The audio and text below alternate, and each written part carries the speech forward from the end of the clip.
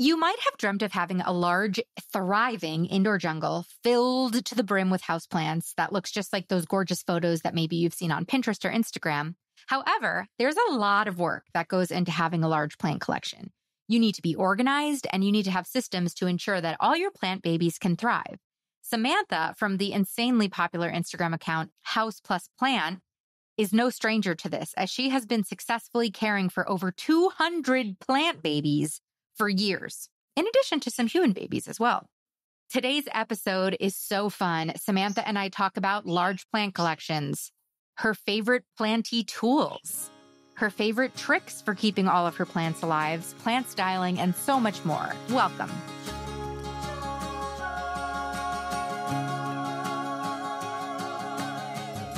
Welcome to the Growing Joy with Plants podcast, where we not only learn how to care for plants successfully, but how to simply and affordably use our plant babies to cultivate more joy in our lives by doing so. I'm Maria, former plant killer turned happy plant lady, author of Growing Joy, the Plant Lover's Guide to Cultivating Happiness, speaker, podcaster, and most importantly, your new best plant friend. On Growing Joy with Plants, you'll find conversations about houseplant care, gardening tutorials, and wellness through the lens of plants. Plant care.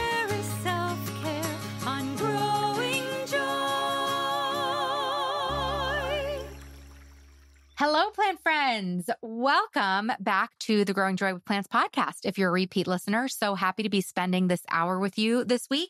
And if you're a new listener, I'm Maria. I'm the host of the podcast, and I'm here to help you care for plants successfully and grow joy in your life by doing so because plants make us happy, right?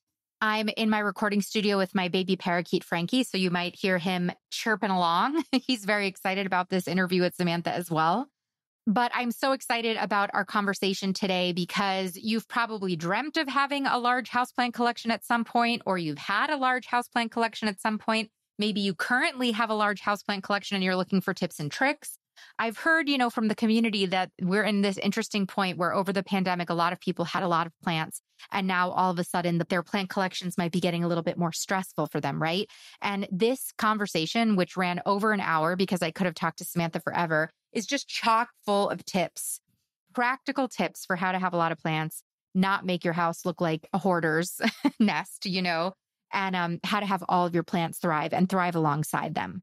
The topic of this week's podcast is how to have a large plant collection, but also I wanted to make sure, in case you didn't know, we have recently relaunched our YouTube channel, Growing Joy with Plants on YouTube, and we do custom video content on YouTube now every week. Sometimes the content matches this podcast. So, like the philodendron episode a couple weeks back had a matching philodendron video where I actually showed all the different plants that I talked about.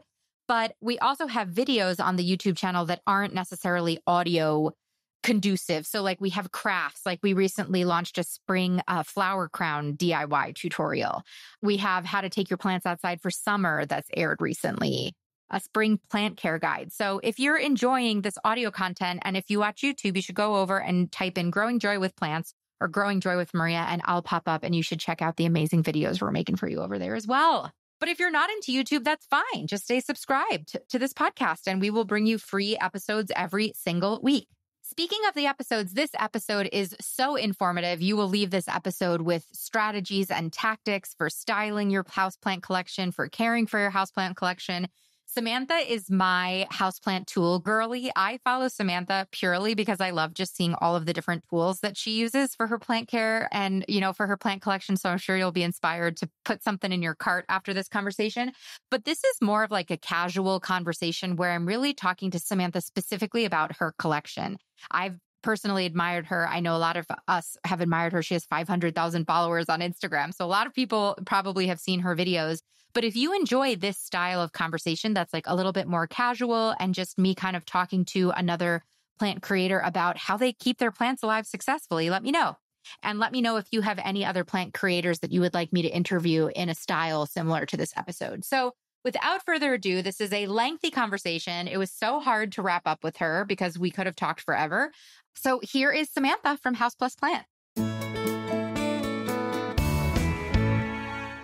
Sam, welcome to Growing Joy. After being a follower of yours for a while, I'm so excited to get to meet you. We're still meeting digitally, but it's fun to kind of always put a face to the Instagram account. I agree. Yeah, I'm sad we didn't meet up in Florida at TPIE. We tried. I know we tried. I know we kept DMing. Did you love it? Did you have so much fun? It looked like you had so much fun. Yes. I mean, it was just very eye opening. Like there was so much to see. It was very overwhelming, but it was good. Yeah, I feel like I've been to a couple of industry conferences now, and it's mind blowing to me how much we, as the like consumer of the hort industry, yes. we do not understand like all no. of the love and care it takes to get a plant to a plant shop to our home. The breeders, the growers, it's like the Wizard of Oz, like behind the curtain. There's like a whole thing going on that we're completely clueless about my favorite part was just seeing all the new because there's a lot of new stuff that they're like kind of introducing that hasn't hit the market yet and that was one of my favorites because then i can kind of show behind the scenes to my followers like in stories and stuff on instagram so that was really fun and they were able to see basically be on the like tour of the whole place with me and so it was really cool but i loved a lot yeah did anything catch your eye like what did you come home what did you bring home slash what are you pining over Yes. So I actually brought home a few things. Now I flew, so I couldn't really bring home a lot Me of the like bigger things I wanted to bring home. But I grabbed Foliage Focus, which is a kind of a, I think it's a really popular fertilizer in Australia. And I know that like Sydney Plant Guy, he uses it and some other Australian plant people use it. And so they had a booth there because they're opening it. Like, I don't know. I think they're going to have it in the States. I think it's available now, like on Amazon, but it hasn't really made it big here yet or anything, but I was going to try it against Foliage Pro because Foliage Pro is my favorite of all time. And so I'm going to kind of test it out and see which one I like better. And then Prop Drops, which is really cool. Market Botany is, he's a big TikToker. And so he has these little drops called Prop Drops. And you literally just put them in your propagation water and it helps the roots grow. So it's kind of like a liquid root hormone. So I hadn't seen it. I've only ever seen the powder. So I haven't really ever seen a liquid one. So I thought that was cool. Yeah, it's so fun seeing these kind of plant influencers come out with their own things that are developed out of their own need. I mean, you've had a couple of products as well, right? Yeah, I mean, I did just like a leaf cleaner, like a leaf shine, but it also has some neem in it, so it like will kill any pests that are on there too. And then one of my favorite things, and I wish I had like one to show you, but it is a super cute planter it's like a cream color and it's kind of like a wash pot shape. So it's just super cute and I love it. And it's based off of my favorite terracotta version, but I've made a 3D printed version. So it's a lot lighter to ship and just easier to use and things like that. So I love it. It's so fun seeing the new products getting developed inspired by us and our needs, like easier to ship or easier to pick up, especially these 3D plastic, recycled plastic pots for the big plants, like for our huge ficus lyrata's, for our enormous plants, when we don't want a 50 pound terracotta pot that like likely will also break, even though all my plants are in terracotta. I love terracotta, but I do too. I do too. And it's, yeah, I mean, I think terracotta is great, but I do love the lighter options for the reasons you mentioned for sure. So much easier to move them around. Yeah. I followed them for a while and I've been seeing them more often. And like in the last six months, I feel like I've seen them more in plant shops. But the Mossify guys, the guys who have done the moss pole, I think it's so clever that they put that anchor at the bottom of the moss pole so that it doesn't fall over. Cause I made moss poles like in 2018 with like a tomato spike and, you know, my own moss stuff. I, there's a YouTube tutorial for anybody who wants it. Yeah. Oh my gosh. I love that but it's so fun even just to see, you know, there weren't moss poles that you could purchase in 2018, which is why I figured out how to make one. But now, you know, there's all these cool products. And that's why going to some of these conferences is so fun. Are you going to go to any other ones this year? I know that there's like, I think it's IAS, International Aroid Show. The International Aroid Show. Yeah. Yeah. I've never been to that one. I would love to go to that one because I think that would be amazing to try out. But I went to Cultivate, which is in Ohio, and that one reminded me a lot of TPIE, maybe slightly smaller, but it was still really fun. And there was a lot of, I mean, the guys like Soul Soils guys were at both of these, and I know them well. And that was fun to see them. And it's just fun to see familiar faces every time you go. Yeah, totally. I'll be at Cultivate this year too, if you go back. Oh, you will? Okay. Yeah, I'd love to. We have family that lives in Ohio, so it's kind of fun to go out there. Okay, we'll finally get to get together in person for a drink. Yeah, that's what we need to do. We'll plan that. I love it. So, okay, you're obviously a very influential, you know, plant influencer, going work in these shows, going to these shows. You know, you've built such an epic plant collection. Can I ask, uh, do you know how large your collection is? Have you counted lately? I mean, I literally, I just say 250 plus because I, the last time I counted, I had 250 and I've definitely bought more than I've gotten rid of. So I think I hover around probably closer to like 275 now because I recently brought home like 10 plants. so yeah, from Florida. yeah, literally that. And just like locally now. So being in Nebraska, we don't have much in the winter. Like a lot of the local shops, except for like the good garden centers, but like our Lowe's, Home Depot, hardware stores where you can find some good finds, they don't get plants during the winter. But then come spring, like now, they start to put some out, and I'm like, I can't resist. It's like my favorite to find a gem at an Ace Hardware, you know? That's like such a fun, it's like the hunt. The thrill of the hunt is like one of my favorite things. The best. Are you friends with the Leaf Joy people from Proven Winners? Yes. Yeah. Yep. I was out there too. Mm-hmm. They're in Home Depots now, which is always fun too to see like a Thai Constellation at a Home Depot, which is always wild. Oh my gosh. Yes. It's crazy. I'm just like, what is happening? Yeah. And then now we're seeing the pink princesses for like on clearance for $5 when during the pandemic, people were spending like $500 on the same plant. It's crazy. I know. So when did you start collecting houseplants? I've had houseplants for over a decade. Like I'm pretty old now. So I've had them for over a decade. I would say I started seriously though, probably in like 20 17 or so when we moved into this house because it has a built on sunroom. I guess it's a sunroom. It's like an all seasons room. The previous owners amazing. My dream. Like closed in the deck, but put in like heated floor and windows on three sides. And so at first I was like, this space is dumb because it's right next to my normal living room. Like, what am I going to do with this? Well, then I was like, okay, I'm going to fill it with plants. And so I started doing that and they started to thrive in there because of the light. And so I just started to add more and more. And that's really where it like started to explode. Yeah, you stumbled upon every plant lover's dream. Yeah, basically. I know now any house I go to next has to have a dedicated plant room. I don't think I can do a house where they're scattered everywhere. It's too hard. Yeah. I mean, my husband and I are looking to buy this year. And the first thing I look at is the lawn for my garden. I'm like, is there a sunny spot on the lawn? And is there area for greenhouse? I mean, it would be wonderful if we had a sunroom, but if not, I'm like, where's the greenhouse going? So, what does your relationship look like with plants before your plant room? You mentioned you've been taking care of plants for a decade. Have you always been good at caring for them? Did you grow up with them in your house?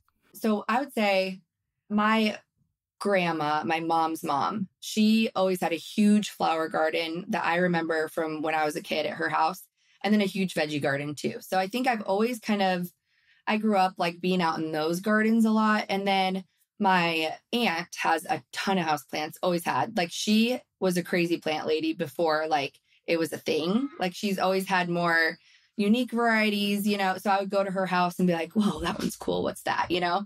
And then my mom always had some too, but she always jokes that like she doesn't have the green thumb of the family, even though she definitely does. And my followers have seen her plants in her house and she does have a green thumb. So, but compared to the family, she is like the least. and it's just so funny because anytime I asked her one time, like in stories, I was doing a story when we were at her house, and I was like, okay, so like, how do you take care of this one? I was like, do you make sure you check the soil before you water? And so she's like, no, I just water on a schedule. And I like preach against doing that. And I'm like, mom, like, mom, you're not helping me out. Like, she was saying everything opposite of what I usually say to do. My mom calls potting mix dirt. Like she won't yes. call it soil or potting mix. Like she's like, you just put it in the dirt. I think it's so funny because so many people, like women from her generation anyway, have such a green thumb with literally not like without trying. And I don't really know why that is, but I'm just always blown away. But yeah, so I've had plants around me forever. And then when I went to college, my mom sent with me some cuttings of a golden pothos just in a pot with me and it probably died like five different times between like while I was in college, but I always had it and it like would die back and then grow again and kind of do all that whole song and dance. And I still have it. It's actually one of the plants that is vining all around the sunroom now. It's that same plant. So, and it's actually been in the same soil and pot for more than 15 years. and I'm not even exaggerating. Like it's crazy. It's still in the same pot and same soil that she gave it to me in. that speaks to the hardiness of the pothos, though. I mean, that is truly a fabulous yep. beginner, hard to kill plant for so many people. All right, plant friends. So picture this your home is filled every nook and cranny brimming with vibrant, healthy plants. No spot is too dark, no corner is too dull. If this is your dream, this is where my friends at Soltech Lighting will help you. They will come in and set you up for success with their luxury grow lights to illuminate your plants and your house in the most stylish and efficient way. I love Soltech. I believe Samantha and I even talk about Soltech on today's episode. They have a grow light for every situation you might dream up, right? So if you naturally are increasing your plant collection, you are likely going to need grow lights at some point because unless you have a house that is basically windows, unless you live in a greenhouse, there's going to be a point where your plants end up needing extra support. And Soltech is an amazing company to get your lighting solutions solved when it comes to plants because all of their grow lights have a full spectrum white grow light. Full spectrum white light that mimics the sun. It gives your plants exactly what they need to grow happily and healthily. If you're interested in installing a green wall or really big plants, you could look at their Highland track light system. If you want to turn your desk into a verdant creative oasis, you could screw their Vita grow bulb into literally any desk or floor lamp and just turn it on. And all of a sudden, that is a grow light. Or you can be like me and hang their aspect pendant lights all over your house. I recently just took a closet in my office. I hung an aspect pendant light in the middle of it, and I have turned my closet into this highlight haven. I have like 20 plants in my closet. So some people use their closets for clothes and some people use them for plants. And I'm that person. And I use Soltech to help me do that. So this April, this spring, don't just grow plants, make a statement, turn your homes into lush urban jungles with a vibe that screams you. Use the code BLOOM15, that's BLOOM15 to snag 15% off of soltech.com. 15% off. These lights are an investment. So 15% off gets you a long way. So that's Bloom 15, Bloom 15 at soltech.com. Dive into the world of stylish, eco friendly plant parenting with Soltech. And remember, they have your back. They give you free shipping and have a solid multi year warranty. That's soltech.com and code Bloom15 for 15% off. On an episode all about houseplants, we have to talk about the company whose potting mixes I have been pretty much exclusively using for the last five or six years, Espoma Organic. So, if you don't know, Espoma is a fourth generation family owned and operated company dedicated to making safe indoor and outdoor gardening products for people, pets, and the planet. When you plant up your houseplants, you should be putting them in a really high quality potting mix. It's a massive key for success. I have to tell you, I recently had some plants in a mix that came from the nursery, and I left them in the original potting mix to have them acclimate to my house. And I recently had this like late night repotting party because I just had it. The mix was nowhere near as good as Espoma. And I just had to like take all of my plants out of the nursery mix and repot them into Espoma. So I didn't pot them up, but I removed the potting mix and put them in Espoma mix because it just retains moisture better. It's got like the perfect amount of aeration. So I've become very particular to the Espoma general potting mix for my houseplants. If you have succulents or cacti, you can use the cacti mix. They have specific mixes for African violets, for orchids. They even have a bonsai mix if you like bonsai.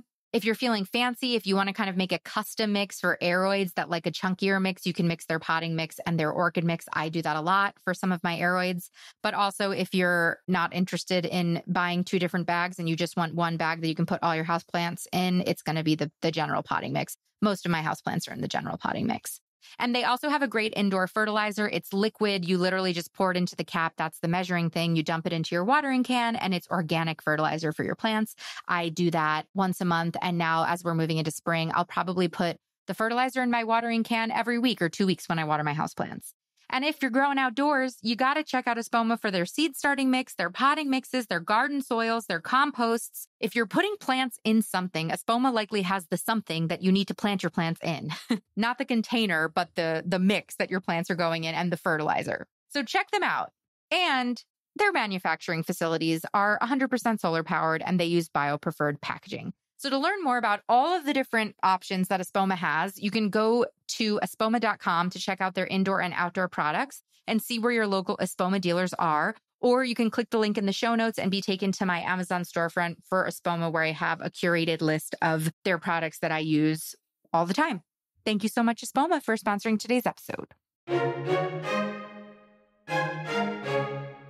It's very forgiving. And I will say, I think one thing that did help me along the way, though, was that I'm kind of a chronic underwater. So it never really got mushy rotted because I wasn't watering it too frequently or anything. But it definitely was neglected and malnourished and all those things and it stuck with me so i'm thankful for that but but yeah it's just crazy and it's actually i was thinking about if i should repot it this spring but it's hanging and it's in a big macrame thing and it's all the way around the room it would be a disaster so i'm kind of afraid to attempt it but i kind of am like i don't know that plants need to be repotted really ever as long as you're taking care of the soil and you're taking care of the nutrients and it almost becomes like a hydroponic plant because what happens is like the soil ends up just going away because the plant uses everything from it, it gets washed out, all that stuff. And you got just like a ball of roots. And so as long as you can keep up with the watering and you're giving it nutrients, really doesn't need anything else. And it's not like I need it to grow bigger. it's doing fine. And so I don't know. I think it's I definitely have um, experimented a lot in my plant journey. And that's one of the experiments that I've realized like, okay, plants, as long as they get the nutrients they need, they don't really need, yeah, in the light, they don't really need a lot more. That's definitely, I feel like Plant Parenthood 2.0. Like, I would never advise someone just getting right. started to to do that, but I think that does speak to the beauty of having houseplants be a lifelong hobby where you have 250 plants. You are an expert in so many aspects of plant care. And because of that, you know, okay, well, if there's basically no soil in this pot, we've got to up the fertilizer, we've got to up the this, and you know how to tinker and play. And then you feel like the mad scientist. And it's also a plant that you get to give a little bit more attention and TLC in a different way. And it doesn't get boring and it keeps you kind of engaged, which I think sometimes people struggle with once you care for plants for a long time. I certainly went through this about two years ago. You kind of get bored. Like you kind of get burned out and bored if you don't keep experimenting and trying new species and trying a new growing medium or doing a different technique because you're just kind of like a robot going through the motions. Have you experienced that? Yeah. And I think that's why I do try so many different things. I mean, I feel like I've grown plants in pretty much every single medium out there so far, or I've at least experimented with it, tried it. So I feel like I have a good idea of what I like and what works best for me and my environment. But absolutely, it gets boring if you're just look. And that's kind of why I buy more plants too. I want a new challenge because once you kind of quote unquote master the plants that you have, or like even the genus you have, like you want to move on to something a little bit more, maybe not even more challenging, but just different. Like if you always, you know, you do great with pothos, maybe you want to try anthurium, or you do great with monstera, maybe you want to try alocasia, you know, and they're different. They just grow different and they have different requirements and different needs. And so I think that's also the beauty of plants is you you really will never get bored. There's always something new. Yeah. There's always something new. Yeah, always. And I mean, look at just Hoyas alone. Like, are you kidding me? There's new, like, five new Hoya species or cultivars that come out every single year. Like, it's, it's crazy. There's probably even more than that. I don't even know. But so I think it's, for me, it's definitely, I'm absolutely more of like an activator person. So I like doing and kind of like on to the next, on to the next, on to the next. Like, once I feel like to me, I've mastered something, I want to move on to something different. And I love to like learn in that way too. So, well, because plants let us be the eternal student, right? Like you and I are grown-ups now. We don't get to go to school. You do hit a point, I feel like, when you've got your job, you've been at your job, you've been with the same circle of friends, you've been kind of in your adult ways. You've got to find ways to stimulate that inner student. You did like a cool propagation of alocasia corms in perlite, I think, the other day. And I was like, wow, I've never tried that before. And I was repotting an alocasia the other day and I thought back to your video and I was like, maybe I should try this. It was perlite, right? Well, that one was stratum. The most recent one I done was stratum, which is a very, very interesting substrate. It's literally volcanic soil that they roll into little tiny balls, basically. And it's used in aquariums as like for planted aquariums. So it's great. It has a lot of nutrients in it, all that stuff, but it does break down easily. So once you get it wet, if you touch it, they just collapse. Like they turn into just actual soil. So I do love it. And I think it works great because it has all those nutrients and it has like the good aeration properties and it retains moisture without, while also letting a lot of airflow to the new developing roots. I think it's great. I still prefer perlite though, only because it doesn't break down. You can reuse it. That's basically like volcanic glass that they puff up. And so I think it's really cool to try all different mediums, especially for propagating, because that's one of the easiest things you can try it on. You already have a plant, you might as well take a little cutting and test some things out. But yeah, I would say perlite's my favorite if we want to go there. Has the flavor of your plant collection changed over the years? If you've been in this house, I think you said for 10 years, so you've had this beautifully lit situation for a while. Like, have you pretty much had the same type of plants over the last decade or has your collection shifted with different seasons of life? You know if i have to make everything a plant life parallel.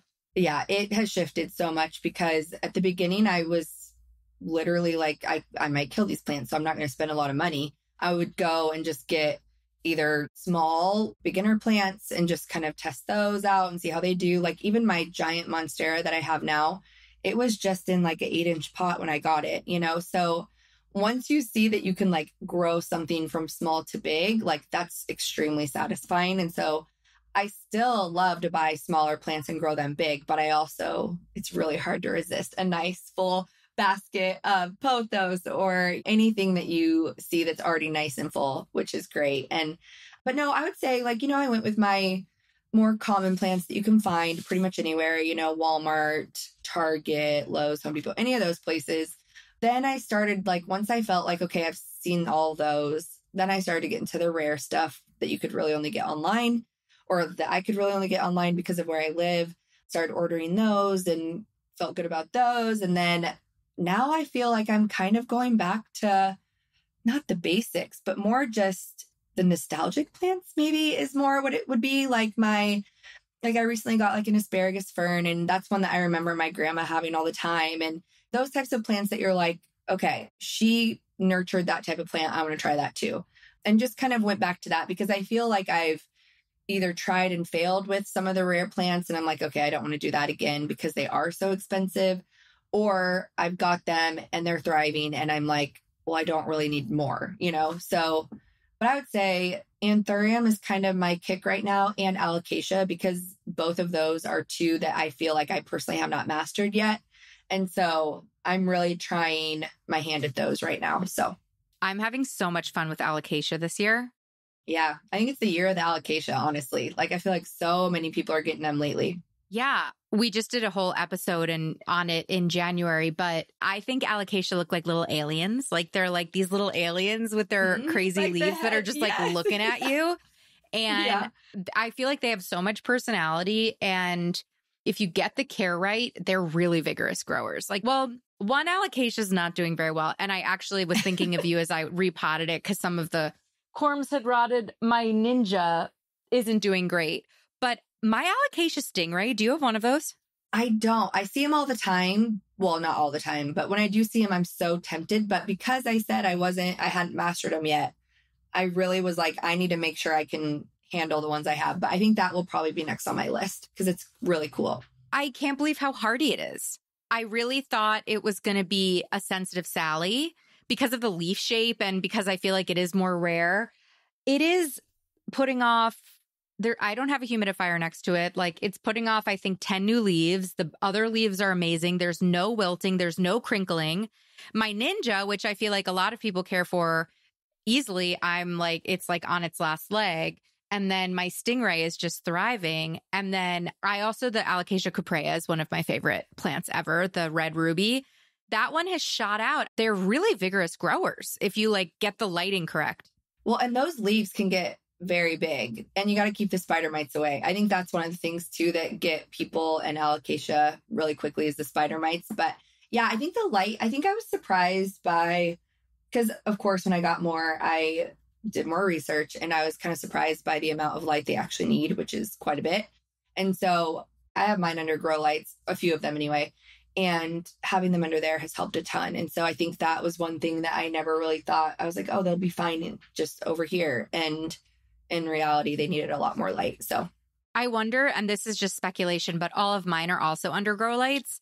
And I wonder if they're happier under grow lights too because there's no drafts. Like they're not in the window where you're getting hit with drafts. Cause I just lost an anthurium to drafts but the roots are okay. So I'm I'm in the process of rehabbing it, but that's what I'm finding too. I live in upstate New York and we have old house drafty windows and you get the cold. Yeah. Yeah, it's it's Yeah, brutal. and I think those grow lights put off some warmth too. So I think that that is a good it's kind of a good. And then I keep mine a little bit on the damp side. So if it's getting if they're warm, you have that evaporation from the soil and so they're creating their own little humidity sphere, even if you don't have a humidifier around them.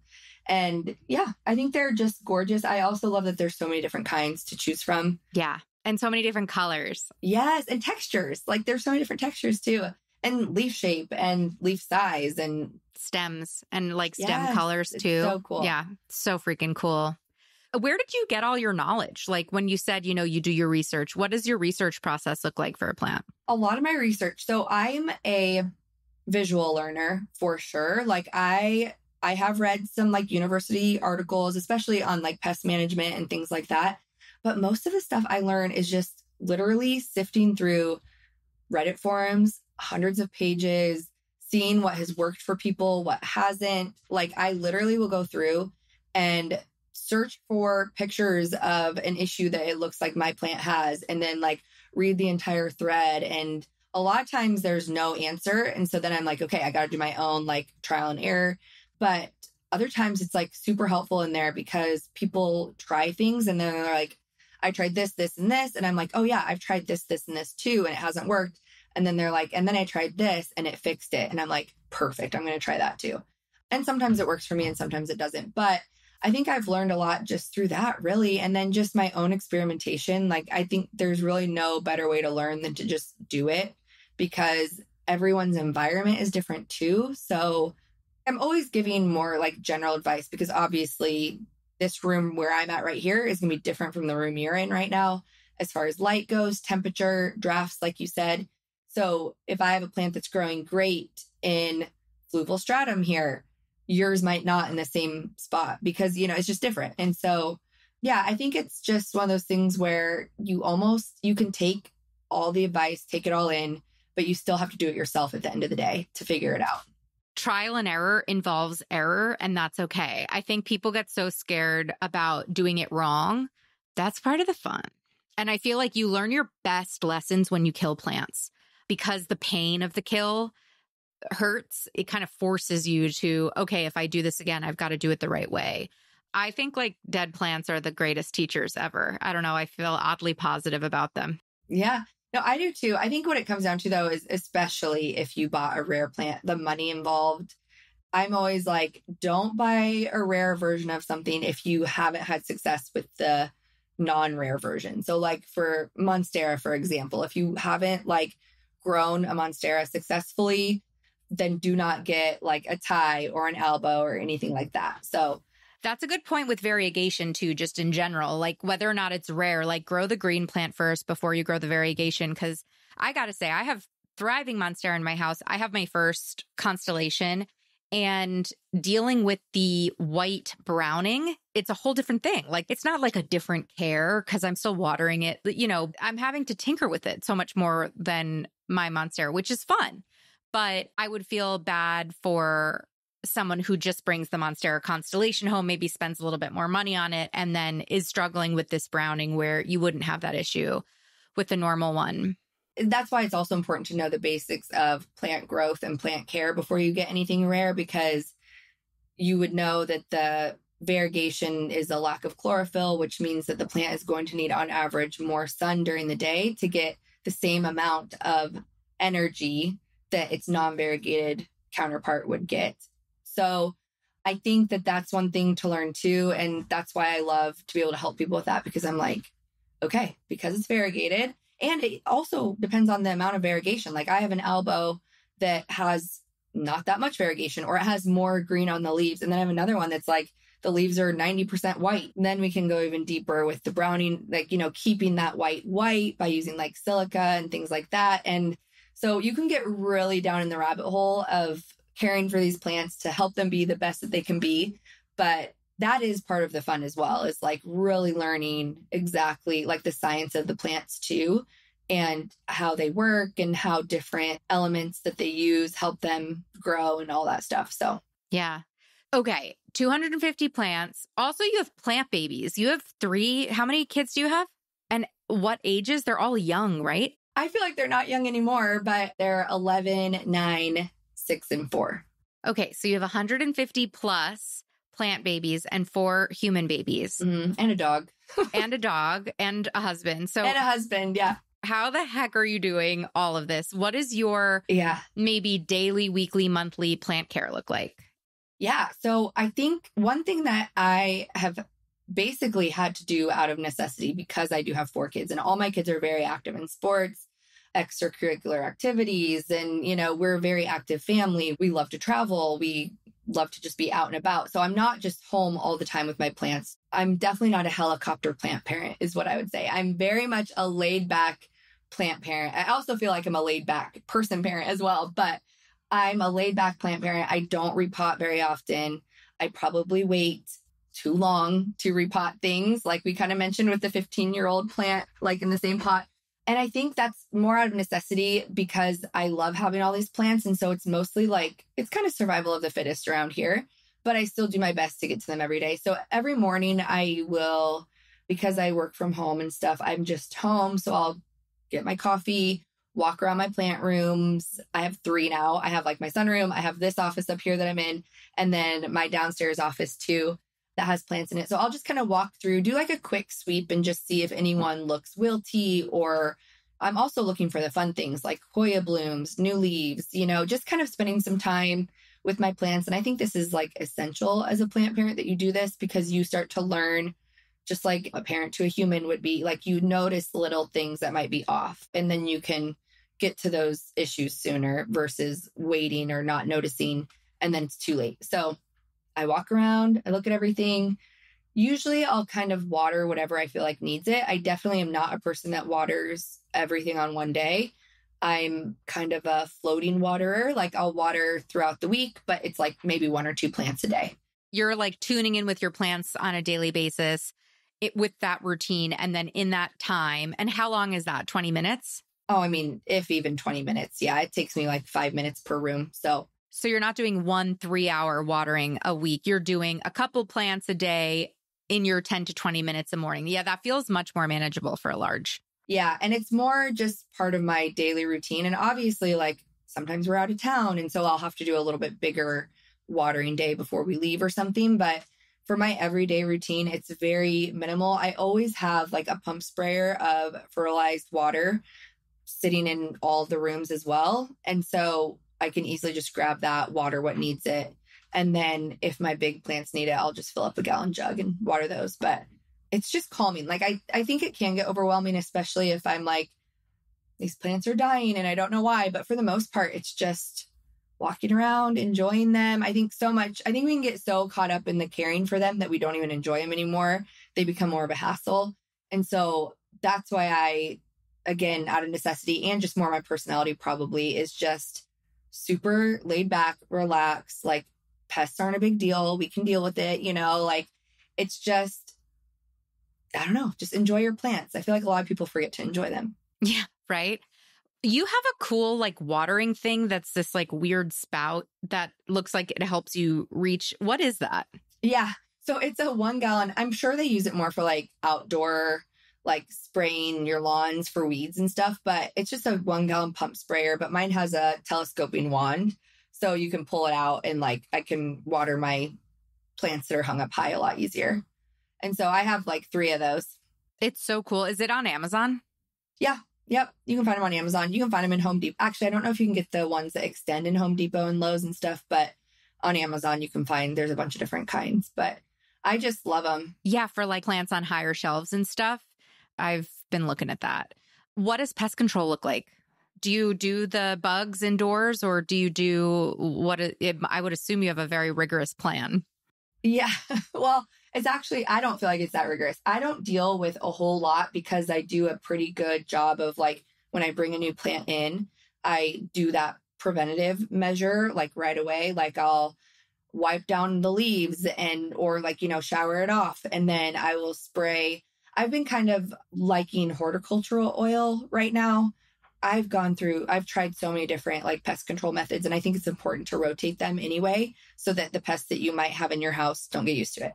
So I've tried a bunch. Um, right now, I'm I'm liking horticultural oil because it's a miticide, a fungicide, and a pesticide, and it's basically just mineral oil. It's safe to use around pets and people and all that stuff. It doesn't smell. It doesn't stain.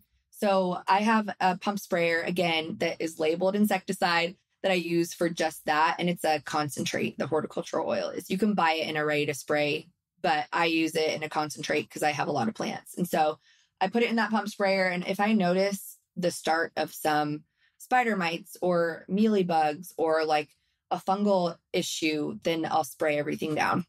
So, are you doing preventative? So, when you bring the plant home, you're kind of quarantining it, spraying it down, and then as you're doing your month, your daily walks, you're spraying when you see an onset of something. Are you doing a quarterly like spray down of everybody, or not really? It's more reactionary. Yep, it's reactionary. And I I have found that if, as long as you're treating the plant, I don't even move it away from the others. As long as it's actively being treated, it's more important that it's in the light it needs. So I always say like that's fine if you want to like quarantine it away from other plants as long as it's the same amount of light it was getting or better. Like you don't want to put it in like a closet or you know, in a different room that's getting north light versus south. Like you want to make sure that it's getting as much light as possible so that the plant can be strong because they have their own natural defenses anyway.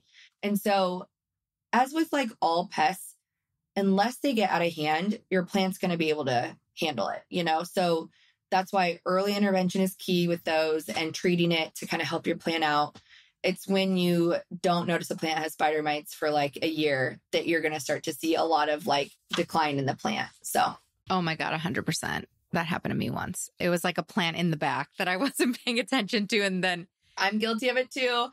Mealy bugs completely took over one. It's, yeah. And sometimes at that point, it's just like, it's easier to just get rid of the plant than to try and treat it when it's fully taken over. P.S. You just drank from your Stanley, and I also have a Stanley cheers. Water yourself as you water your plants. Oh, yeah. Cheers. Let's do it again. Yes.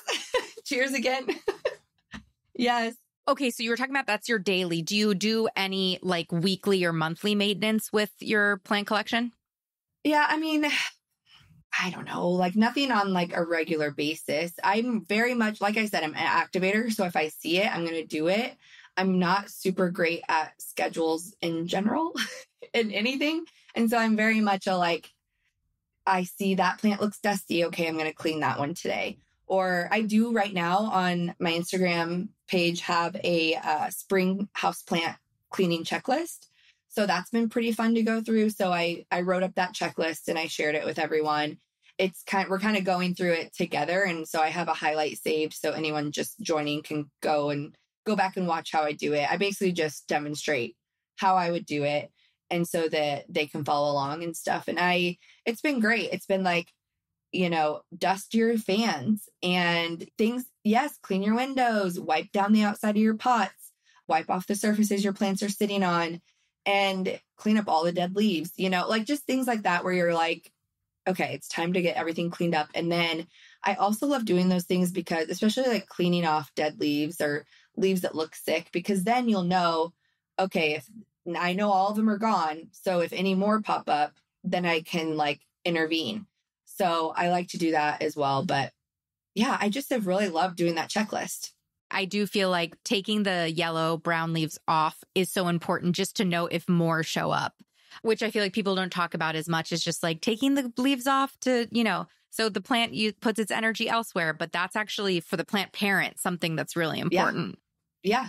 And I actually think it's a myth that it, like the plant doesn't put any, it's actually taking the energy from that leaf. So, which is like, it's not putting more energy into the leaf. So, if the leaf is dying off on its own, like because of old age or whatever, I absolutely leave it until it's brown.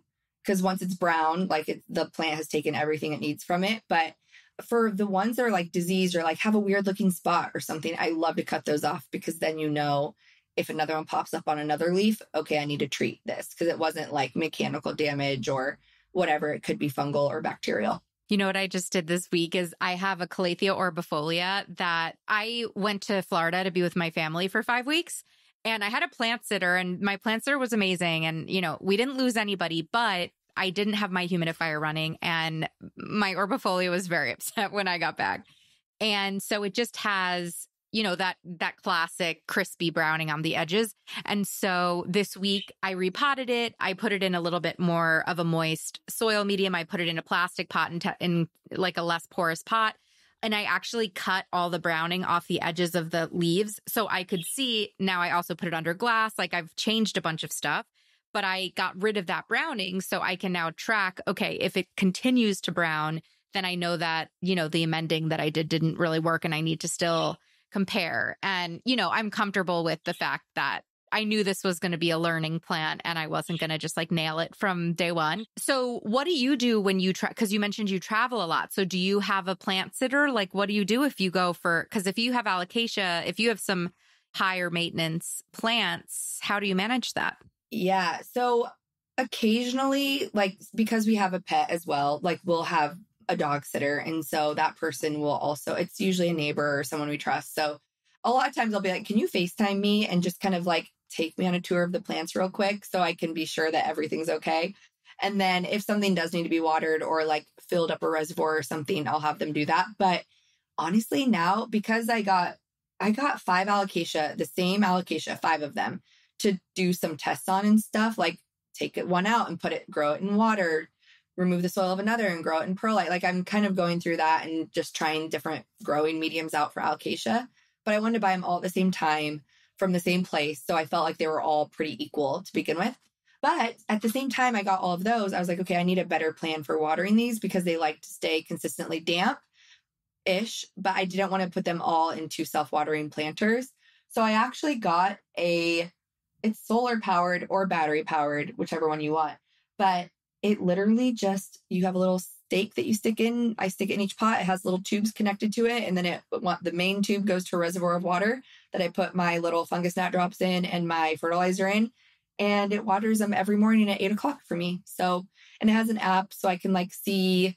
You know, I can make it go again if it needs to water them a little bit more, or like if it's gonna, it tells me the, I'm pretty sure it tells me the temperature and everything too. So I know if it's hotter in the room, I need to water it like again, maybe in the evening.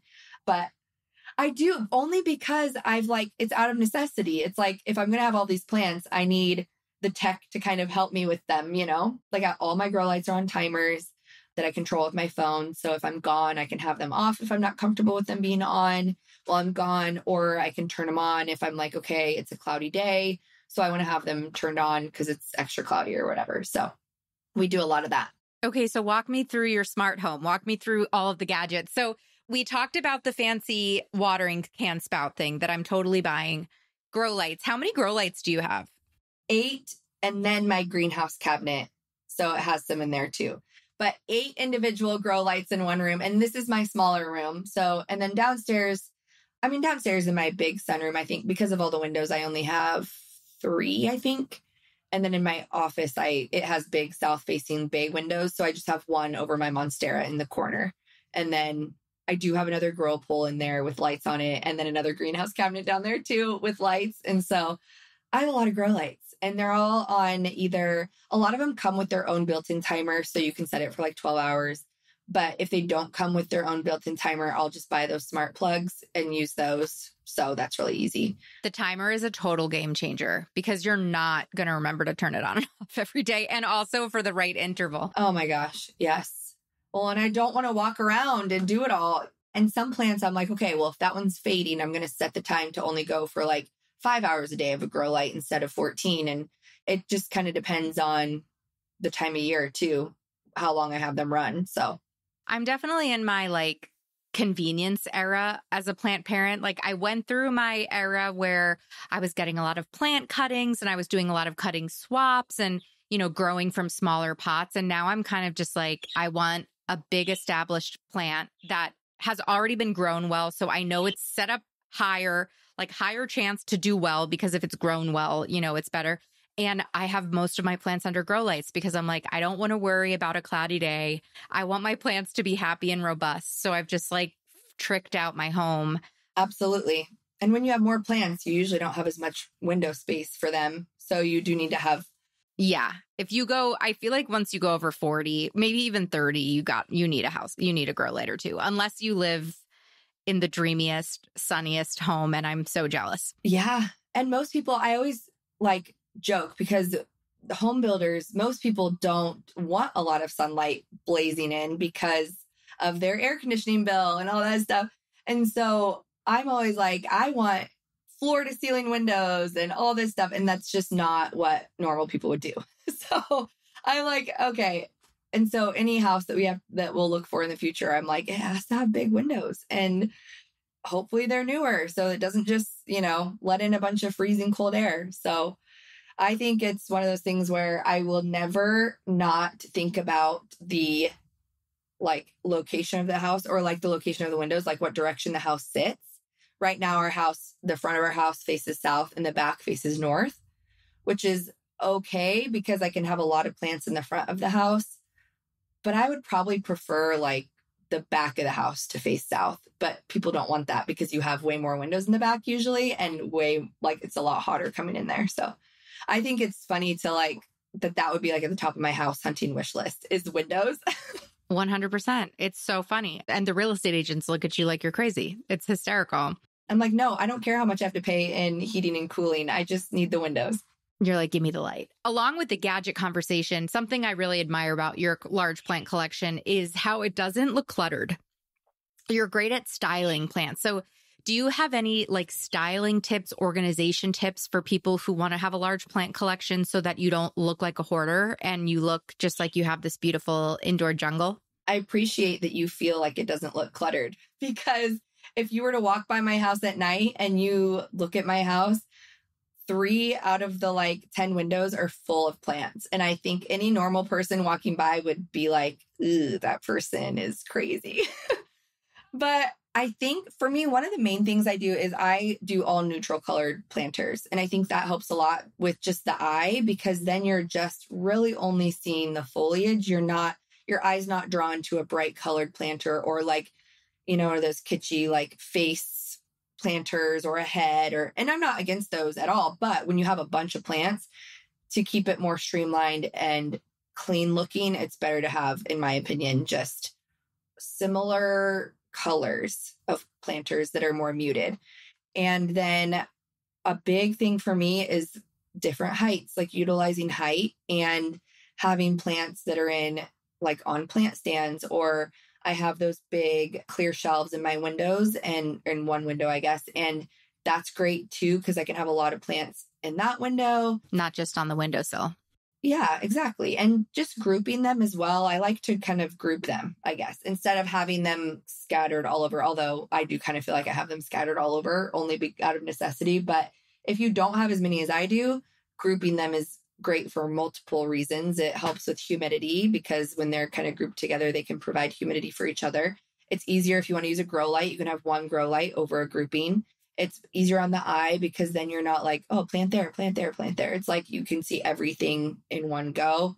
And I just think it's easier to care for them as well because you don't forget one that's on the bookshelf, you know? So I think that that's one big thing is just grouping and then the height differences and then the similar colored planters. Yeah. Have you ever done any of the WaliGrow wall pockets? I don't have the wall pockets. Well, I have like the normal WaliGrow planters that are like those plasticky ones that hang up. Yeah, the ecos that go on the wall. Yes, I have those. I have a closet that I have put a grow light in and taken the the doors off of that I keep most of my plants in my office in, which is it's not very aesthetic. It's more utilitarian than anything else because I'm experimenting with a lot of plants right now. But a way I got even more plants in that closet is I put, you know, the interior is white and so I put the white eco pockets on the wall. And then I'm just putting four inch pots. Like I'm not planting them. So in my old house, I planted them up and I had a green wall, but I'm not planting them. But you can just put the four inch pot in the eco and put two to three. And it looks like they're planted, but it's great vertical plant storage, you know? Absolutely. I actually think it's better. So the eco, the size I have, like they're good size. Like it's a lot of soil. If you're going to plant up a pot, that's a lot of soil. And so I've actually found that I don't like to buy a, you know, eight inch pot and plant it directly in there because too much soil. So I'll usually wait till it needs to be sized up or buy two of the eight inch and put them in there. And then there's not as much soil. You want to make sure that the roots are at least filling half of that, if not more. And otherwise, I've planted a pot directly into there and it rotted because it just, it was too much soil around it. So I leave them in the planters in there, just like you said, you're doing. And I still have a few that are like that and it works great. I like that you can use it for both purposes. You would never know. Yeah. And it looks great. You wouldn't know the difference. Yeah. Any other tips or are there any other like die-hard kind of gadgets that you use on your on a daily or weekly basis that you feel like make it easier to have such a large plant collection? Uh definitely the hanging plant drip trays. So they're just like these plastic drip trays that hang on hanging plants and you can just water and it drips into there. They're great. You can get like a pack of 5 off Amazon. Those are amazing. I love I have a tension rod over this window up here. Not that everyone listening will be able to see that, but it's over here and it's great because you can hang any hanging plant that you get on there. You can use a carabiner and just like clip it on if it's in a macrame hanger or if it comes, you know, on the hook that you buy it with, you can just hang it on there. So even if you're not going to leave it there indefinitely, it's a great spot to just get it in the window for the time being. And it's very low profile. Like it's literally just a wire. You can make it like a curtain of, of hanging plants. Yeah. Yes, you can and it's just a wire and it like it's super sturdy and i love that it's not this big you know curtain rod bar or anything it just blends in you don't even know it's there the plants look like they're floating. Yeah that's so dreamy i love it. You could do kokedama on that thing too that would be even more whimsical that would be so nice. Could you imagine like 10 kokedama hanging on that oh that'd be so cool. But then you'd have to the watering of that would be annoying I'm like, are you holding the the pot of water up to each kokedama and letting them soak? I you'd have to just if they're on a little hook though, that's easy. And You just take them down, set them in your little tub of water. Yeah, but I mean that would be so pretty. I've recently gotten into kokedama just because I I think they're so beautiful and once again, 7 years, 8 years into this like what's a new thing I can do and I love them, but they're on a completely different watering schedule than the rest of my plants. And I've realized that it's easier for me to have everybody in the same medium in the same type of pot. So like everybody's generally making sure that I'm attending to them. And the kokedama, there's a learning curve for me of like making sure that they get watered because it's just, to- it's totally different, but still really fun. What have been some of your challenges with having a large plant collection and, and what have you learned from those challenges? I think my biggest challenge, I think, is just not liking certain plants anymore because I, because like I said, I am kind of a, I get bored and I want to move on. And then I don't give those plants as much care as they need. And so one of the things on my spring cleaning checklist was donating or selling plants that you just don't pay attention to anymore. Because for a lot of beginners too, would be so excited to get, you know, a pink princess for free, you know, and and so I do a lot of that. I'll give away a lot of plants for free on Facebook Marketplace or I don't love to ship them it just it's more of a hassle and it's not a guarantee they're going to get there okay. But i sell a lot or give away a lot either to friends. I dropped off like an entire box of probably 12 plants to my neighbor. And it just feels so freeing knowing that a they love it. And i'm like i'm giving these to you. I don't care if you kill them. I don't care if you want to experiment with them. I don't care if you want to pass them on to somebody else.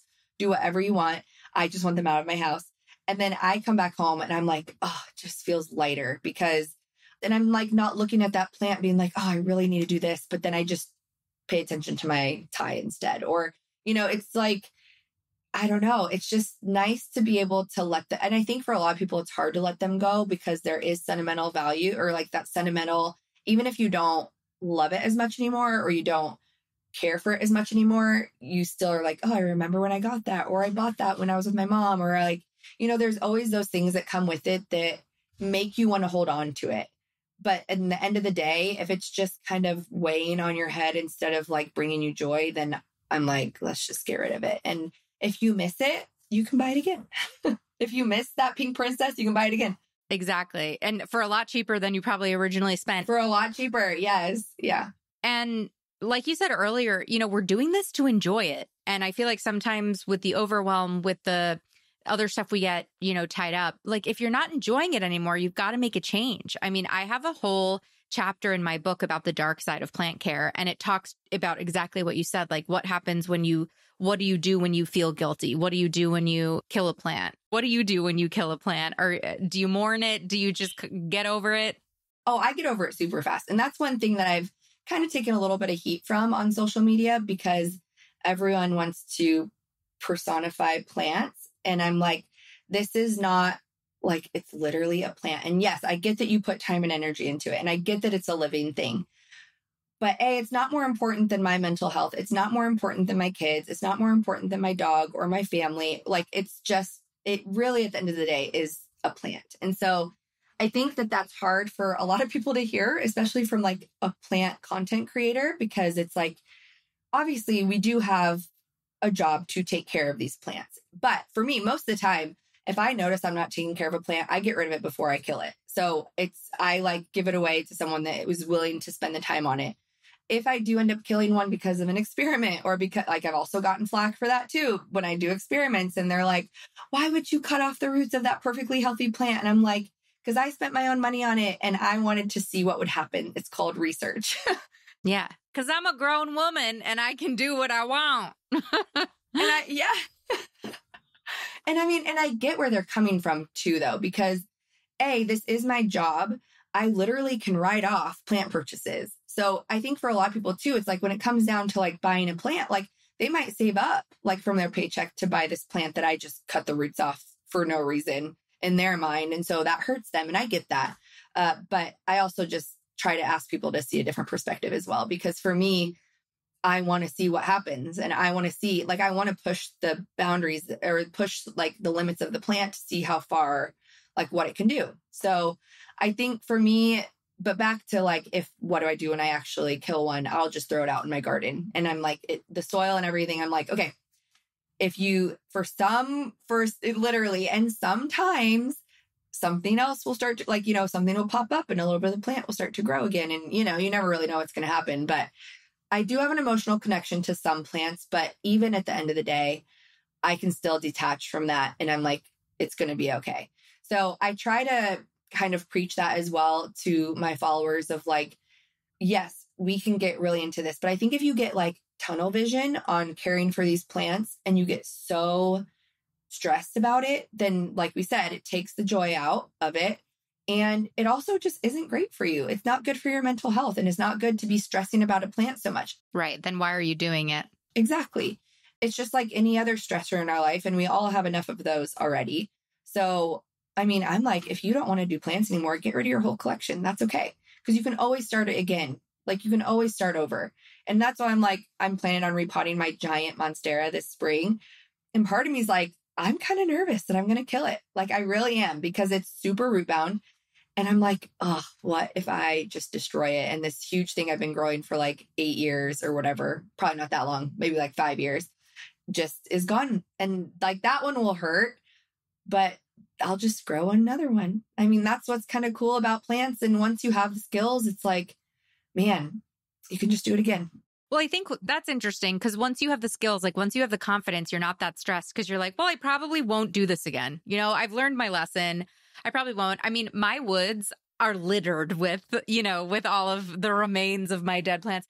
But I also think it's kind of poetic because I'm like, well, you're returning to the earth. You're going to decompose. You're going to turn into nutrients. The nutrients are going to feed the soil. They're going to feed the tree roots. Like it's kind of beautiful. Yeah. Plants have a limited lifespan anyway. It's either uh, sometimes things I do though just speed up that process is all, but it's not going to last forever anyway. And we should just get joy from them while we can. Agreed. Preach. I love it. I can't believe we have already talked for 60 minutes. We have not. Oh my gosh. it's 58 minutes. I'm like, wait, what? I thought we've been talking for 20 minutes. I know. It's so good. I do want to ask you just like one or two more questions. I'm so impressed that you have four young children and plants. Are your kids involved in your plant care? Do they like your plants? Do you have any tips for, you know, moms with kids and plants? Like, what have you learned in that capacity? Yeah, one of the biggest things that I get asked a lot is like, how do you keep your kids away from your plants? How do you keep your dog away from your plants? How do you keep them from messing with them? And I think one thing that's been easy for me is the plants were here before my pet or my kids. And so I basically treated it like a hot stove. I'm like, because some of the plants are not safe. Like I want to be able to have plants that are technically like toxic or, you know, not safe for my pets and kids, but I still want to have them around. So I literally, from the time they were babies and like from the time my dog was young, like I was just on it of like, don't touch it. I was like very stern about it and basically kind of scared them, which maybe isn't the way some people would do it. But I was like, you just, you don't touch them. Like they're just here. Now, as my kids have gotten older and they understand, and I'm, they're much more capable of like helping me with the plant chores. And some of them do. Like the boys, I mean, if I ask them to help, they will if they're not like wrestling or having their own thing that they're doing. Everyone is excited to help me. So if I ask for the help to water this, especially with the pump sprayer, they love using that. If I'm like, okay, you guys can water this, they get so excited, but they're excited for about uh, 10 seconds and then like, okay, I'm done. so I think they're still a little too little. My oldest is really good at drawing and she just kind of shows me the plant love by like drawing me pictures of plants and then like giving me the picture. And it's really, really sweet because she knows I love them and she wants to like be together in that way. And it's really sweet. And they both, both my girls have asked for plants of their own in their rooms. So we've tried that. Yeah, we've tried that. It, but then again, it's like they don't remember to water it or whatever. So I usually just do plants. I'm like, it's okay. Like, and I just let them do it. And I'm like, it's a fact of life. If you don't water it, it's going to die and they just kind of have to learn that. And I mean, I obviously have plenty of plants to spare when it comes to that stuff, but yeah, I mean, it's it's interesting. It's been fun. I think a lot of them every time I come home with a new plant, they're all like, "Mom, you don't need another one. You have plenty." I'm like, "Yeah, that's true. You're right. I don't." That's so funny. Yeah, that's so interesting. And I also think it's kind of not it must be kind of nice just to have this hobby to yourself, right? I mean, yeah, it is you know, it must be a nice thing to just rejuvenate you that's private to you that, you know, you're giving so much of your life to your kids, especially at this moment of, of time when they're all, you know, under 15. It must be nice to just be able to kind of pour into yourself as you pour into your to your plant collection. It totally is. And I it kind of gives me excuse to be like, nope, I can't help you with that right now. I'm doing this, you know. And I do obviously help my kids with a lot but I also love that they can see me be passionate about something other than making them a snack or taking them to practice, which I do all of those things anyway. But I have a life outside of them, which I think is important too. Just like having social relationships and stuff like that, it's good. But I just think that I was nurturing babies for so long. And now that my youngest is four, I think that's when, once my youngest was like one and like not really a baby baby anymore, is when everything kind of ramped up as far as like I created my Instagram account, like, because I could actually breathe again. Like, I wasn't nursing every two hours anymore. I wasn't up every two hours at night anymore. Like, I was kind of coming back to myself. And that's when I like start had the emotional and mental capacity to start the Instagram account and to start all that stuff up. And I just think it's been great. And I think it's been really fun. It has been quite a balance though, especially with the actual content creation side and like running a business, it's hard. It's hard to shut that off to be present with my family. So my husband and I both work from home. And so we've had lots of conversations of like, okay, at four o'clock, because my kids get out of school at four o'clock. At four o'clock, we're done, you know, and we're just focusing on family and stuff like that. So I think it's it's really easy when you work from home or own your own business to want to work literally 24 7. It's like you just never really shut it off. And that's a conversation we have to like remind each other of often. So I'm not a mom yet, but that's something I'm looking forward to. I know that motherhood will force me into having better work life boundaries, which I feel like when I live in the woods with my husband with nothing else to do, you know, it's a lot easier to let work be, you know, your whole life. Now, let's talk about your work for a minute. You've built this epic Instagram. How long have you been doing it? What has this journey looked like? Yeah, I think 2019 ish, I think is when I started my Instagram account. I really can't remember. But even before that, like on my personal account, I was posting pictures of my plants all the time. And that's when my grandma was like, I want to see pictures of the kids. Can you stop posting pictures of plants on here? You're like, these are your kids. Yeah, these, are, these your are grandchildren. Your right. your new grandchildren. And so I was like, okay, I'll start an Instagram account. And so I started a plant account. And this was before reels were even a thing. And I just was posting pictures, you know, trying to do like the inspirational picture situation. And I also started doing questions in my stories because I would reach out to bigger accounts and never hear back, which I understand now having a lot of DMs, I understand how that can get crazy. But I just wanted to be like, my goal was to just be available and to be like, if someone had a question, I would respond, you know, and I still like, I dedicate so much of my day to answering DMs. And I mean, it's crazy. My screen time on my phone is nuts. Like, I don't even want to tell people what it is because I'm like, it's crazy. You're also really good in your stories. Like, you answer a lot of questions in your stories. I do. And I wish I could do more. I try to do, and even in my, like, even, I don't even answer all in the stories, but I will answer them. Like, if I get them, I'll answer them in DM too. So, like, you can choose to either share it to your story or to just reply, reply privately. And so even if I'm not sharing it in my story, because I would have like hundreds of answers in a story in a day. And so even when I when I get them, I still try to answer it, even if it's not like in a story format. So I really do pride myself on and try really hard to be super responsive, super available. And I think when it comes to content creation and copycats and people coming up with other things that are very similar to yours. And just the only thing that I can control really is my consistency and my responsiveness and my hustle, basically. And so those are the things I try to control. And yeah, I think that that's just kind of my personality too. Is I'm, like I said, again, I'm an activator. Like you message me, I'm going to try and get back to you within a few minutes, you know? So that is where the balance comes in for me with like putting my phone down because I know that there's always more questions to answer. And I hate knowing that I'm letting some slip through the cracks because I just need that space. Well, I think everything you just said speaks to the community that you've built because you can really tell that you really care and that you actually are trying to answer.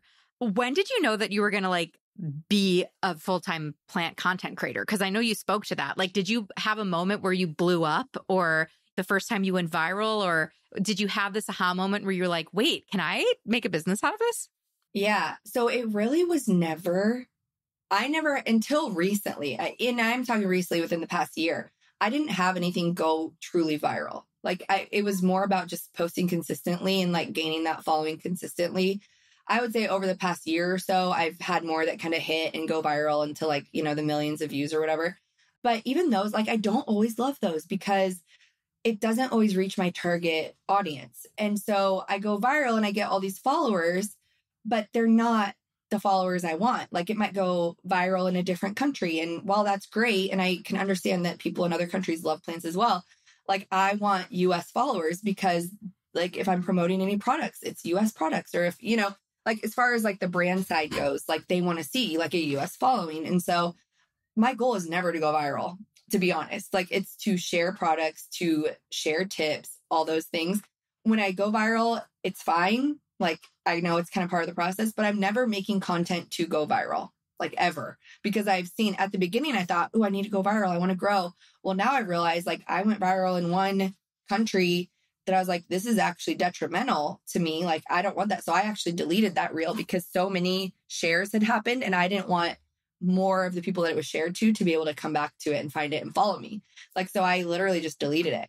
And so it's a weird balance and the algorithm is crazy. And you never really know what's going to like do well or resonate. So I truly just have tried to go back to like being a plant teacher, helping people, answering questions.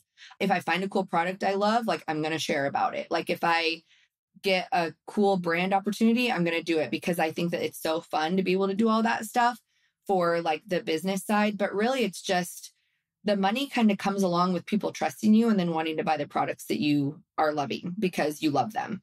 So you have to have that like trust first before you can sell anything. Yeah, that's a very grounded approach because I do think after the pandemic, you and I both were, have been at this since pre pandemic. But I think in the pandemic, we saw a lot of plant influencers. So many popped up. Oh, it's annoying. Like it's not that. I, everyone, there's enough room for everyone, which I think is great. And I encourage everyone to do it. But yeah, it's crazy. A hundred percent. But what I was saying is, um, I feel like there's some people who just were like, oh, plants are blowing up on Instagram. I'm going to make a Plantstagram and I'm going to just kind of capitalize on this, go viral. And you see that in people's content. And I feel like with you, you see that that's, that you really are here to serve your audience in a rich way and like develop a relationship. And, you know, as someone who I do that with my podcast, but I haven't been on social media as much. And I feel like you're someone who I really admire for, for doing that and really consistently showing up. Now we're at like an hour and 50. I'm like, this is to be the longest episode of my year. Where can everyone find you? You know, you're my product girly. I feel like I follow you because I'm like, what is she telling me I need to buy next? Because I think I might have like a shopping addiction. Okay. Like my husband would be like, uh, I don't know if you should be buying all that stuff. I'm like, you're like, it's for the business. It's a write off. I literally, I love to try new things so much. And having so many plants, like we said, we need the gadgets, you know, to help us with them. And I also just like cute things and I like aesthetic things. And I, if you ask anyone that knows me since I've been a kid, like I have like that salesman in my blood. Like if I love something, I'm going to try to get you to buy it too because I want you to love it as much as I do. Me too. A hundred percent since I was like in high school. Yeah. Yes. Oh my gosh. I would always like, I'd always have people ask me like, what lip gloss are you wearing? Whatever. Like, and I would be like, this, this, this, you need it, you know? I've just always been that person. So I think that side of it actually comes very naturally to me. I'm really never embarrassed to share about anything. I'm really never feeling like a pain. I actually truly am like, no, you guys actually need this because it's great. I don't ever feel like I'm a, like burdening someone by saying that they should buy this product because I actually think it can help them. So I think that's one thing that for me is like I have to actually truly believe in it and love it to share it. But as far as my page goes, I think I was always trying to make it more I just really loved like the fashion and beauty influencers and all that stuff and lifestyle. And so I think I tried to bring that. And makeup. I love makeup oh influencers. Oh my gosh, love makeup. Yes. And I think I tried to bring that feel to the plant world of like, I mean, I don't want to say I was the first because I don't know if everyone was doing it or not, but I feel like I was one of the first to really start sharing and pushing products like that in that way of like, especially like the comment this word and you'll get this because I saw my fashion and beauty influencers doing that that I loved. And I was like, this is an amazing way to do it because I always want the products they're using and it's hard to go search through their stuff to find it. I'm like, if they can just send me the exact link, it's great.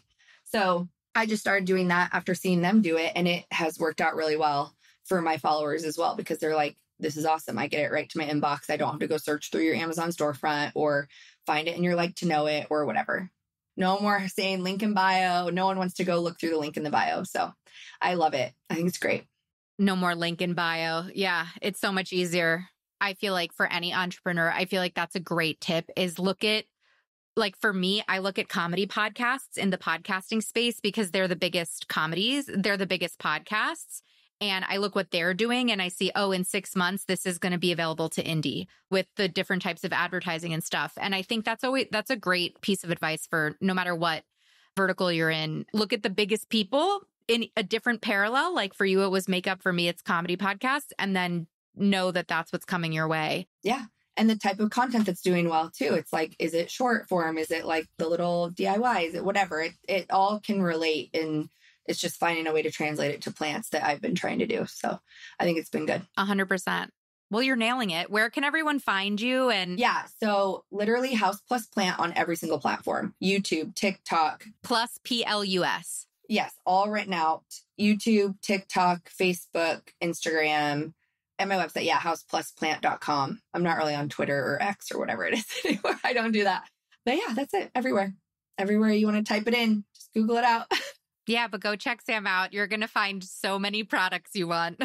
my Amazon card is always full from you. Oh my goodness. Yes. And hopefully a lot of answers to your plant questions.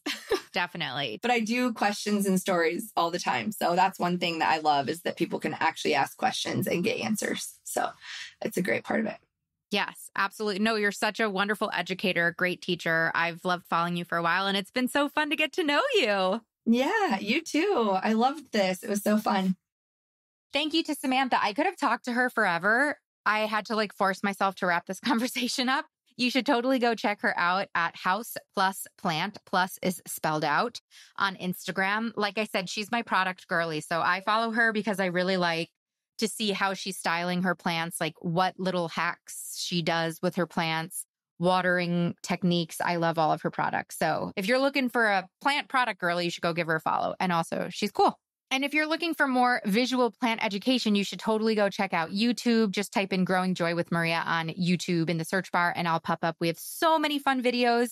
We have a spring equinox meditation for planting new intentions for the spring. We have a DIY spring flower crown tutorial, spring plant care guide, spring plant care checklist, philodendron care guides, alocasia care guides, calathea, everything you want. We've got on YouTube and this podcast. So also make sure you're subscribed. And if you like this podcast today, share it with another plant friend who might have enjoyed it. I hope this episode leaves you feeling inspired. Spring is here, plant friends. Dance around, celebrate. We made it through the winter. and until next week, I hope you keep growing joy. Plant friend, thank you for tuning in today. It means so much to me that I get to be part of your planty journey. If you like what you heard, make sure you're subscribed to the show so you never miss an episode. We have so many incredible interviews and solo episodes on incredible houseplant and gardening topics that you will not want to miss this year. And while you're over there in the podcast player subscribing, why don't you click over to the review section of Growing Joy with Plants and leave us a review? Reviews are tremendously helpful for the growth of the podcast, so thanks in advance. If you're looking for more opportunities to grow as a plant parent with Growing Joy content, we've got so many options for you.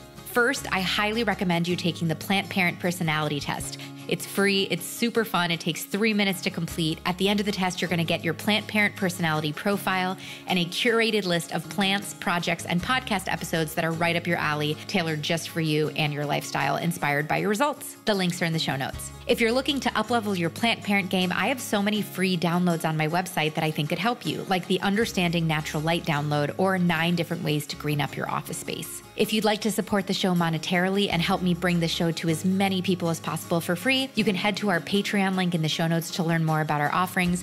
And finally, I invite you to come hang out with me and continue the planty conversation on social media on Instagram and TikTok. I'm growing joy with Maria. My DMs are always open if you have requests for topics or ideas for the show. Thank you again for listening. It is truly my honor and delight to help you keep blooming and keep growing joy.